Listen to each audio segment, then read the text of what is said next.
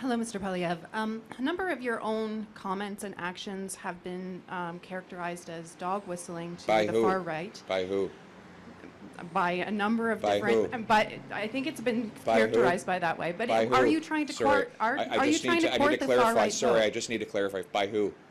by a number of different experts and a Ex- number of who are the different people experts? who work who, who, Who are the work in this. Okay, well, I think it's been established that Right. this is this is a, Yeah, a I- concern. It's are you not- trying to court the far right vote? I, sorry, I, who are these experts? You say that there are experts who are saying this. Who are they?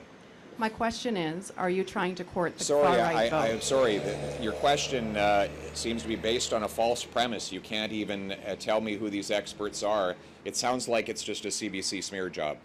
Thank you. But, it- Next but what question. about the question about whether The, that's the answer the is that I'm, intention? I have a common sense agenda to axe the carbon tax, bring home powerful paychecks, clear the way to build affordable homes to put those, uh, put people uh, in housing that they, they can afford. That is a common sense, mainstream Canadian agenda. And I know that Justin Trudeau's supporters are so desperate to distract from that because his political uh, career is falling apart.